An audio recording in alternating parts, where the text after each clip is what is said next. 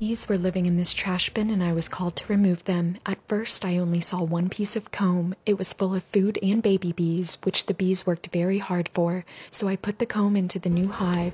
Then I saw more bees at the bottom of the bin, so I took out the trash and some bees along with it and I found the rest of the hive. Then I removed all of the comb from the trash bin and I put it into frames. Some bees were gathering on the outside of the bin, so I started scooping them into the new hive, and in the very first handful of the bees I scooped, I found the queen. So I put her in a clip and I put her in the new hive. These bees were very gentle and were not trying to sting me, so I just kept scooping them off the side of the bin. Once I had enough bees in the new hive with their queen, they started telling the other bees where to go. All of a sudden, bees started running out of the trash bin and into their new hive.